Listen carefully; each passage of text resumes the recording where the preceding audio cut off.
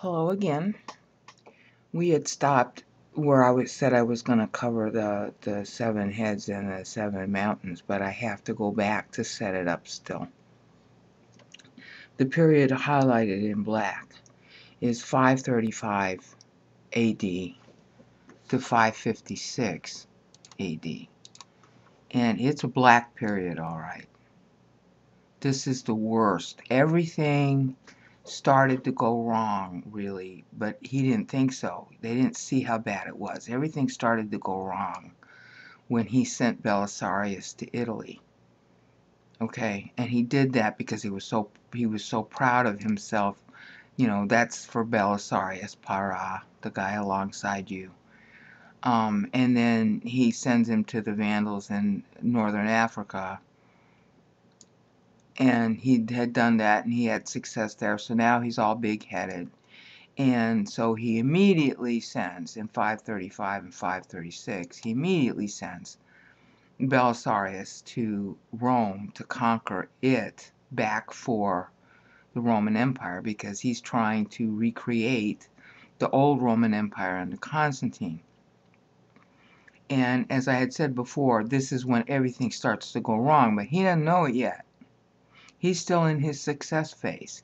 He's still doing his little big, big pig-headed thing. Okay? So he's building the, the Hagia Sophia at this point. He had started building it here. That's two years while our boy Belisarius is in Africa. And these are the next two years while he's in Rome, conquering Rome, which is western Italy. That That's only western. Okay, there was more to do. And then he completes Hagia Sophia here. Now, it's real important if you're going to understand the Bible's satire, wit, the meaning of Antichrist, and all that, that we go through these little things. Because they're not little. Okay, they're really not. There's so much information here. Every single syllable is a, a huge satire, and I keep missing things after I've finished. So we have to go back again before I can come here to 545. And this is the whole world going to hell in a handbasket at this point. Okay. Everything almost dies during this time. So what you need to understand is that God, you know, since this is our first poster boy Antichrist, and this is a real historical person, this stuff really happened. He should have known because Greek was native to the you know, Constantinople, Eastern Roman Empire. And there were a whole bunch of people who were possessed of the Bible texts. Okay, Revelation was very not popular in Eastern Rome. But a lot of people possessed it just the same. And so this would have been a warning to those people. Hi, I'm going to tell you what's going to happen now, and it ain't going to be nice. All right, so when it says here, and then you insert the word is in English, here a mind which has wisdom. Okay?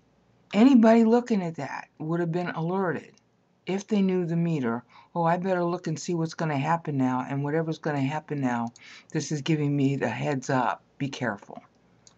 Okay? But they didn't.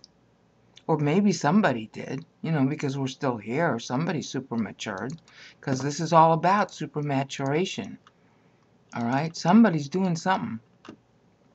But it was available. That's the thing I want you to understand. It was available. God made the information available at this point 456 years in advance.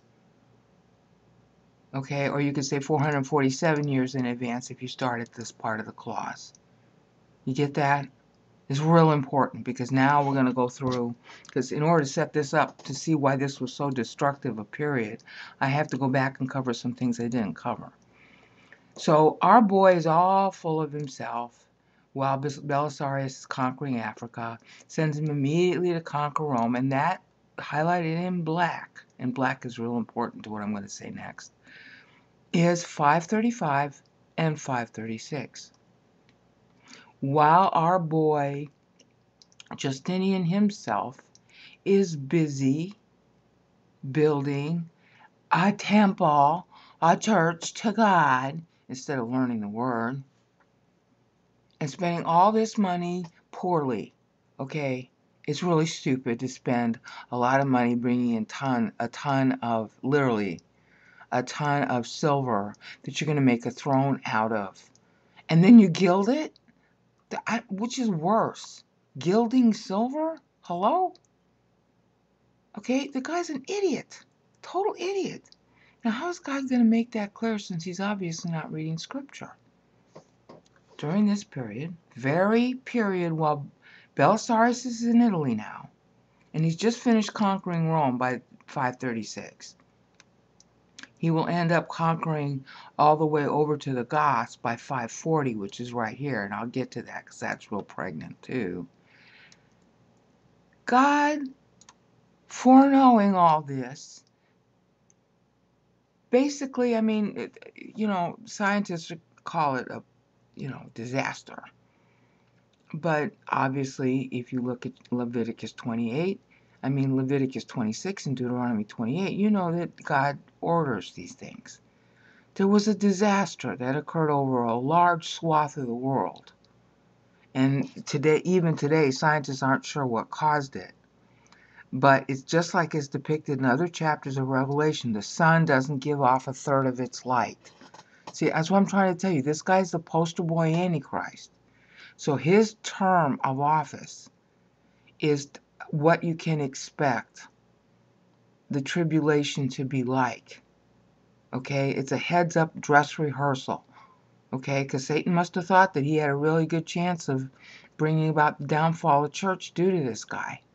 So the sort of things that are depicted in Revelation is, is happening, like things going wrong with the sun, the moon, and the stars, and that was already in Matthew 24 25, which Revelation 17 is updating.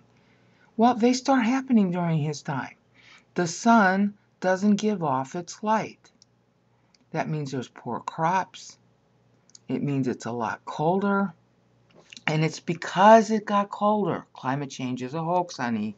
It's because it got colder that all the little bugs and germs and everybody that, that can can move now because it's cooler due due to the you know make a plague occur which happens right here remember in Constantinople but it actually started here. Uh, no let's see. Yeah here. That's how the plague can start. If the if the earth cools too much and too much is one degree. The Paris Accord calls for cooling the Earth by 2.5 degrees centigrade. That's that's life-threatening. That's how that's how non-effective, how vile, how wrong climate change is. They have no idea. I mean, these are historical facts, okay? You can look this up. 535 to 539 is when this this problem with the sun started. 535, 536, 537, that's the completion of Hagia Sophia now. 538, nous, your mind should have been alerted by now, because now you got, you've got, you know, 535 to 538, you got bad crops. No sun. 539. And it's during this time that, that, that everybody gets restive. Well, do you see why? You haven't had food for three years. You got somebody taking over you and taxing you, and you don't have money because you barely have the food. You're going to be restive.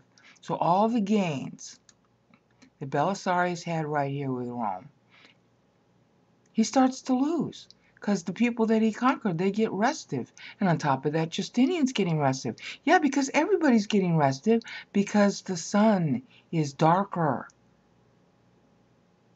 Okay? Now, they talk about that.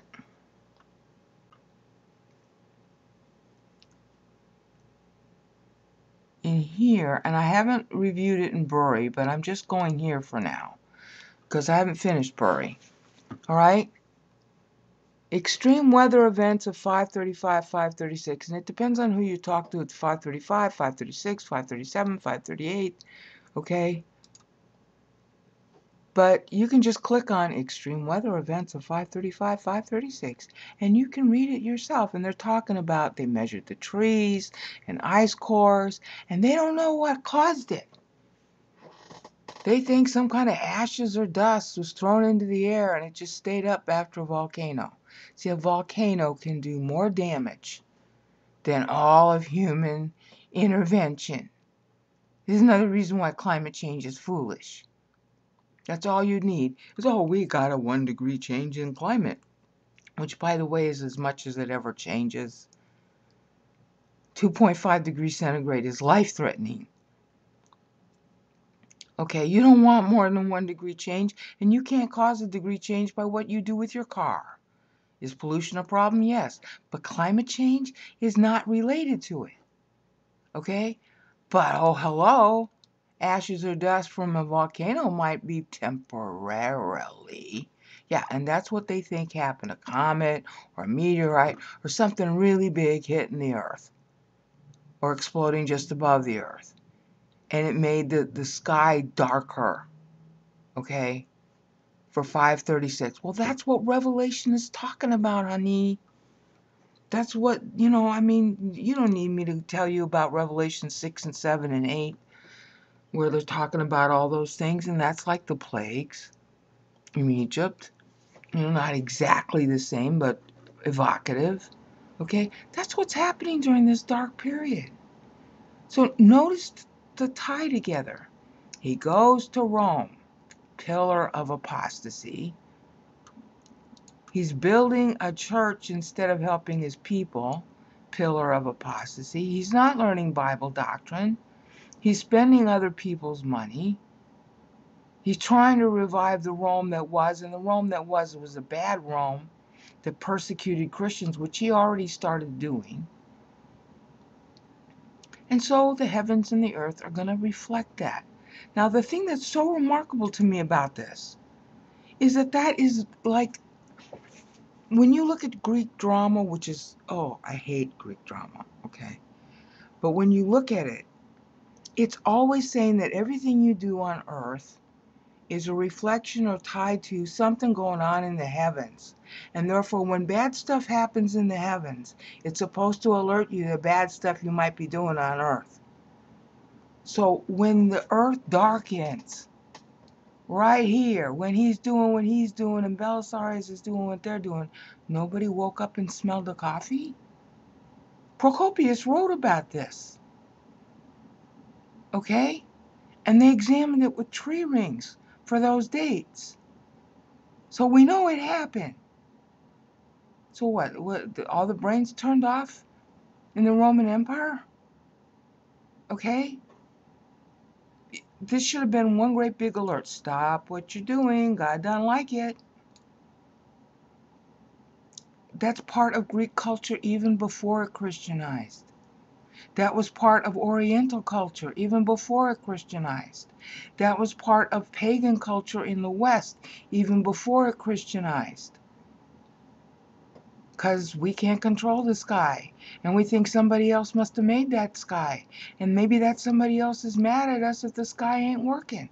That's a common thought pattern in humankind, going all the way back to the beginning. And of course, it, it's true. You know? Just because we know how the lights are in the sky now and that how their orbits work and all that doesn't make it any less divine.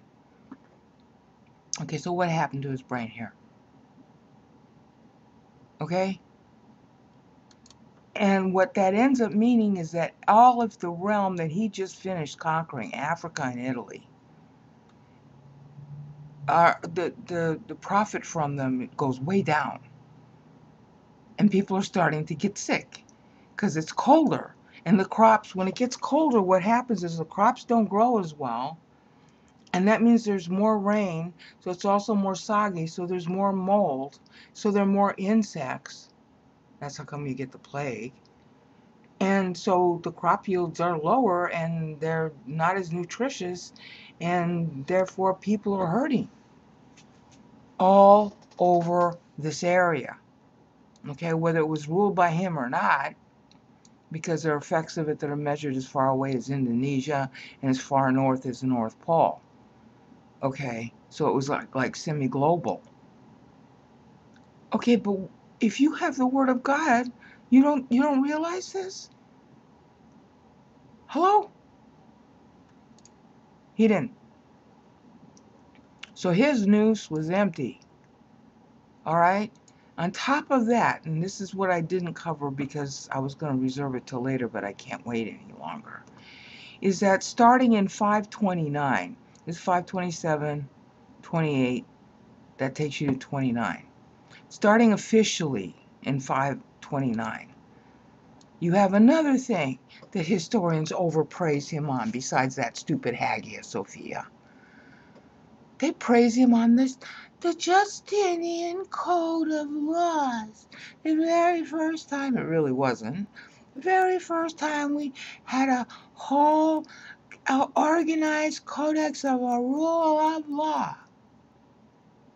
If you go to read those rules, you want to throw up. You know what there are? The rules about how to confiscate your property. There are rules saying that, hi, if you don't believe in our Council of Chalcedon version of Christianity, we're going to confiscate your property.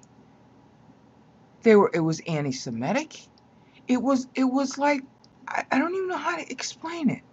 it. It's the worst, most vile, disgusting institutionalization of discriminatory law against freedom, against belief, that can be invented. Now, if you were part of the group who was Chalcedonian, well, then, yeah, then you got all these things like if you're female and your husband is nasty to you, you can get redress of grievances. And, and so today's liberals, or maybe not liberals, who look at the Justinian Code say, well, see, they had all these nice laws you know, pro women and all these nice laws about protecting your property. Yeah, but it was only true if you were a member of the chosen faith. Otherwise, honey, you weren't even an animal. So tell me that that was true law. That's not what law is supposed to do. The whole purpose of law is to provide freedom. It has no other value. You need a certain amount of law because you got to have your freedom and I got to have my freedom. And what if you're an atheist? And what if I'm a rabid Christian? Well, shouldn't you be protected from me and me from you? So we need a law between us to sort of mediate that. There's a certain things that I can do as a Christian because I'm supposed to be free. Certain things you can do as an atheist because you're supposed to be free. But if you be, punch me in the nose because I'm a Christian or I punch you in the nose because you're an atheist, shouldn't there be a law to arbitrate that? Yeah, well, not here. Jews were treated like Untermenschen. He was violently anti-Semitic, and of course that was true ever since 451 when the Council of Chalcedon was promulgated. So this whole Justinian code is really, well, if you're on the inside of Christianity the way we define it, well, then you get certain rights. Otherwise, honey, you're just, you're not even cattle. And he started promulgating that right here. I am so disgusted with people who think the Justinian Code was good. It was only good for the in crowd. Otherwise, it was no good. We should be despising it. But we don't. Okay, so now look. This is when the Justinian Code takes effect in 529 AD. And so that's why from 530 AD all the way through until he's dead. Bastard. He uses the Justinian Code to take your money, to accuse you, to confer favor or take away favor from people that he liked or didn't like, and his wife did the same thing. And of course, you know, so do all the magistrates everywhere in the empire, because if the emperor does it, it must be okay. So why wouldn't God suddenly darken the sky? Because this guy is darkening the lamp of the word. Okay? So that's why we have this, oh, okay, 535, 536, 537, 538. 539, well, your crops ain't growing as well, honey, and it's cooler, so now you're going to have a lot more insects, and now, and this is what I wanted to get to, pestilence. Echo, Greek verb echo. Echon, This is the present participle of it with the what it's an O that uh, omega looks like a W in English. Echon. It's translated having, but you have to understand the etymology of the word. Echo means to grab something and hold it. It's not just having, it's the act of grabbing and holding.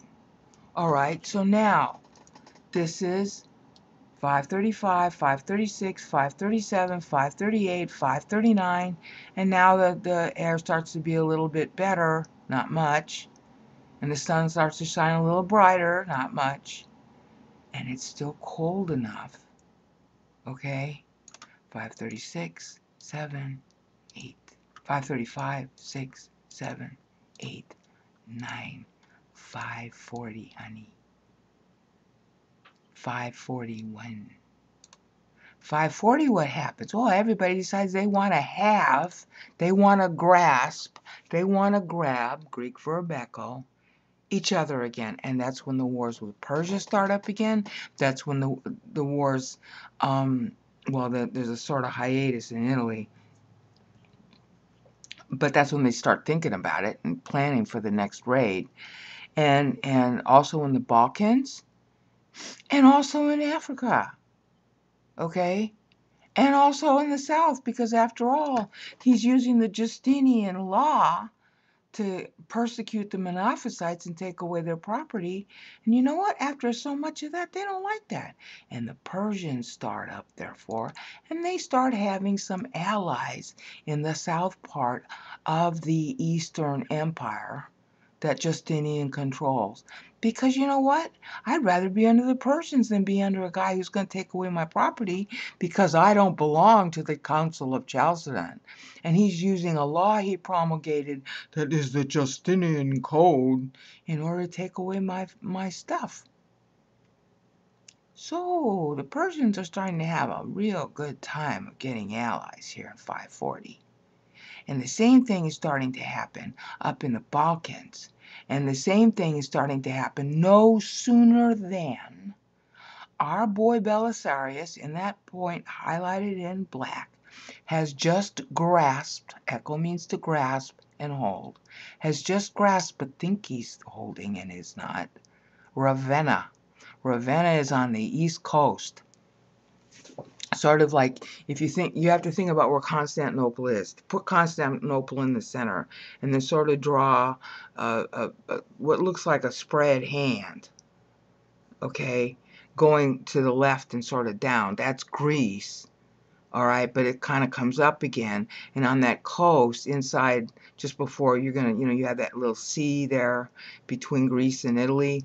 That coast that's going up on the Sea of Greece, on the left-hand side of Greece, the west of it, that's where Ravenna was.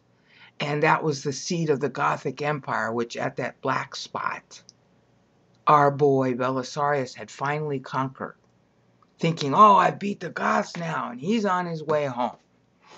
He no sooner leaves than they start fighting again. And this is 541 when the plague starts in Africa to grasp everybody and kill them.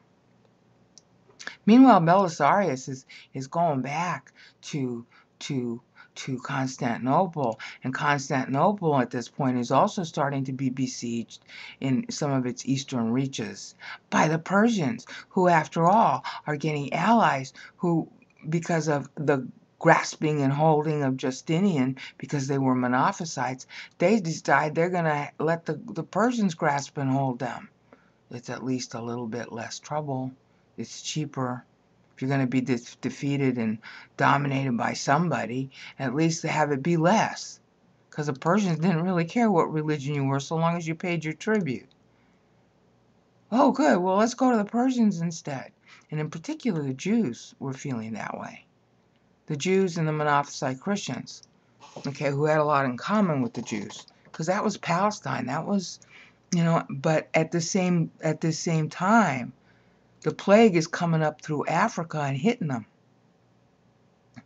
So that kind of keeps the Persians at bay a little bit too. All right.